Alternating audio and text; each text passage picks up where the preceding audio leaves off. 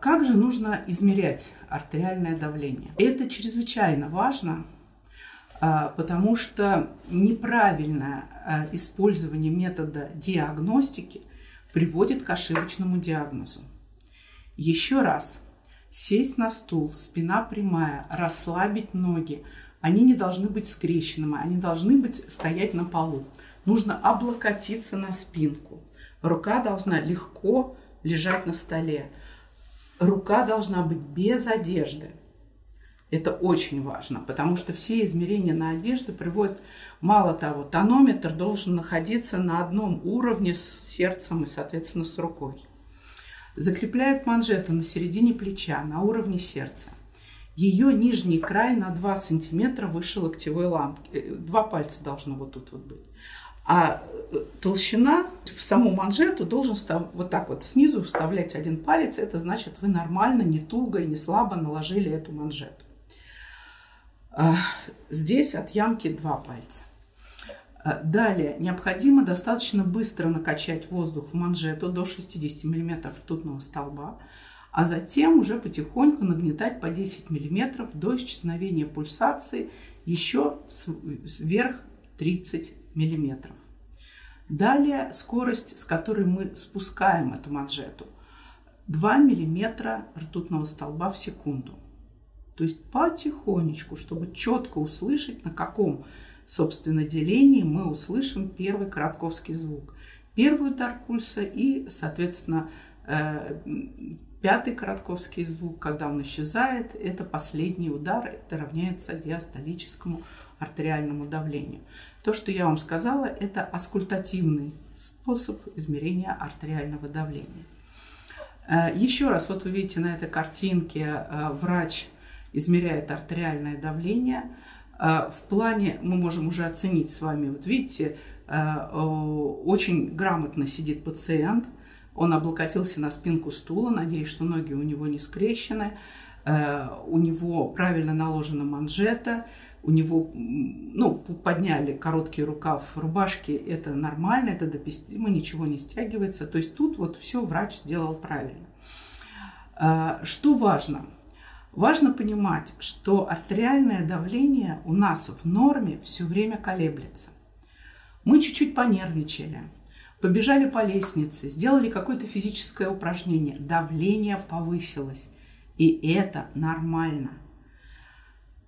Также нормально, если это повышенное вот в течение нагрузки или эмоционального какого-то всплеска давления вернется к своей норме через 5 минут. Я человек, который делал велоэргометрию достаточно много лет, великолепно это знаю. Вот ты даешь человеку нагрузку, и у него вместе с увеличением частоты сердечных сокращений начинает повышаться давление. А дальше, после снятия нагрузки, ты смотришь, как быстро оно восстанавливается. В норме давление должно вернуться к своим 120 на 80 через 5 минут. Если это восстановление идет более, доль, более долго, то мы уже начинаем думать о том, что этот пациент предрасположен к повышенному артериальному давлению. Итак, для того, чтобы правильно его измерить, а ведь это наш основной диагноз, да, то есть основной метод диагностики, нужно дать человеку отдохнуть, просто посидеть 5 минут, о чем-то с ним поразговаривать. Дальше делается три измерения с интервалом 1-2 минуты. Почему? Ну, потому что все мы люди, и на самом деле все мы терпеть не можем, когда нас оценивают. Вот мне сейчас меряют давление, и я тут же выдаю эмоциональную реакцию, хотя я с собой борюсь, я говорю, что нет ничего страшного, все равно первое измерение артериального давления будет выше, чем второе. Поэтому, чтобы избежать этой ошибки, нужно измерить три раза, для того, чтобы человек успокоился и уже в спокойном состоянии измерить его давление. А если у человека аритмия мерцательная или другие, то измерения, какие-то удары сердца могут выпадать, и измерение будет неточным. А особенно, если оно делается электронным способом. Поэтому самый точный способ измерения артериального давления – это сфигмоманометр или ртутный манометр и ручное измерение, то есть когда мы слышим тоны. А, электронные все методы – это, ну, как бы для упрощения метода измерения, э, э, но мы должны понимать, что электронными тонометрами точность гораздо ниже, и на них 100% полагаться, особенно при диагностике, не следует. Их можно использовать просто для ежедневного контроля пациентами, и то так плюс-минус. Ну, вот так же, как, например, вот эти часы, которые для медицинских целей использоваться не могут. Вот э, что касается измерения.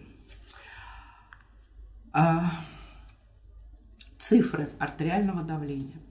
Вот все, что нас учили в детстве, давным-давно, 120 на 80, о, у вас давление как у космонавта. Так вот, давление 120 на 80 должно быть у большинства населения. Это норма. Сейчас по последней классификации, классификации все время меняются. Все время вот эта норма, э, то она выше, то она ниже. Значит, сейчас э, цифра между нормой и патологией является давление 140 на 90. Если давление выше, чем 140 на 90, любой из этих показателей, или верхний, или нижний, значит, мы говорим о том, что у пациента артериальная гипертензия. Дальше вы видите степени ее, первая, вторая, третья. Вот. Нормальным является давление в диапазоне 120-129 мм ртутного столба и, соответственно, диастолическое 80-84 и у большинства пациентов, у большинства мы будем стремиться именно к этим цифрам артериального давления. В некоторых группах э, оно может быть чуть повыше, вот, но чуть пониже нет, не может быть ни в каких группах.